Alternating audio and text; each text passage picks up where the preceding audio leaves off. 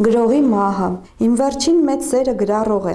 եւ գրողի մասին կարծիք կազմելիս չսխալվելու համար նայում է մյուսների աչքունքին։ Իր բոլոր գոլեգաների պես նա սիրում է մեծ գրողներին, քանի որ նրանց գովաբաներից սխալվելը նվազ հավանական է։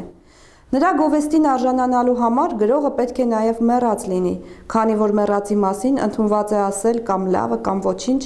եւ փառաբանական ճառը կարող է նաև ողորմաթասի կենաց համարվել։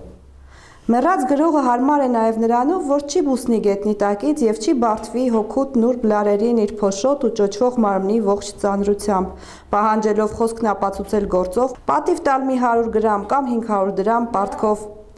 Իր գոլեգաների նման իմ սերն էլ հոգու խորքում ատում է գրողներին եւ մեռած մեծերը նրա համար ողջերին սեփական փոքրությունը ցուցանելու միջոց են։ Նա գրում է հոդվածներ, գրախոսություններ, մենագրություններ,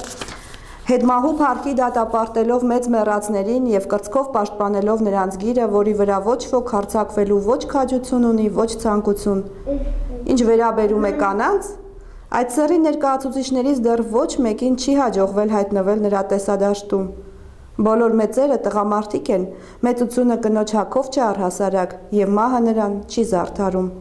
Իսկ ես, բանուգործ թողած օր ու գիշեր ոտանավոր եմ տապակում նրա համար, թեպետ գիտեմ, նա ինձ այդպես էլ չի նկատի, քանի դեռ կին եմ ու նոբելյան չունեմ, նրա սիրտ տանող ճանապարհը անցնում է Պանթեոնով։